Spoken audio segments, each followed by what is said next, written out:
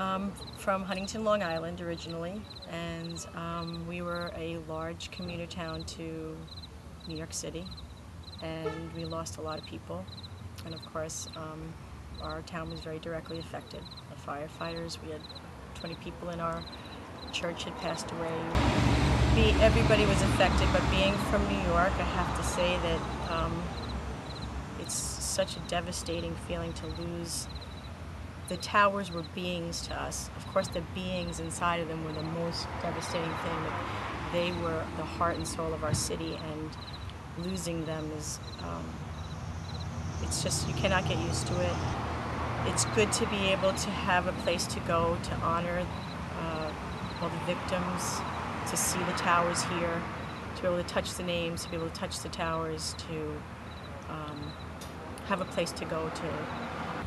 Um, and I, am very thankful that uh, the Quintal brothers, or, or Mr. Quintal, put, did this here.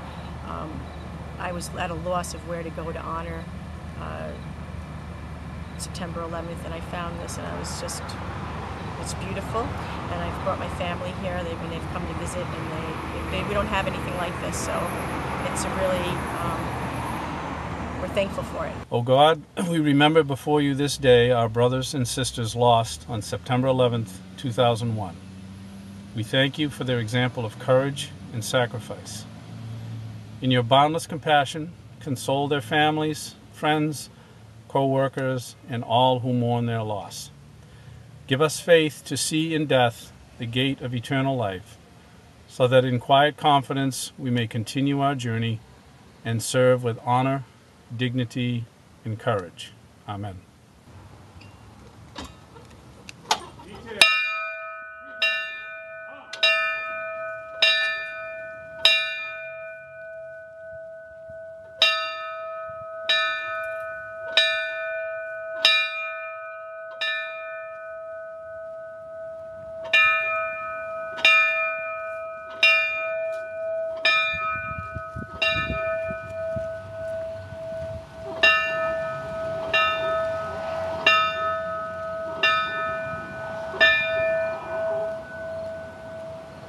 Well, each and every year since 9-11, the Plymouth Fire Department has, as have all departments, uh, paid homage to the loss of the um, safety personnel as well as everyone else who perished on that day. Um, so fortunately in Plymouth we have this nice memorial and that allows us to focus our attention and our energy on the true meaning of 9-11.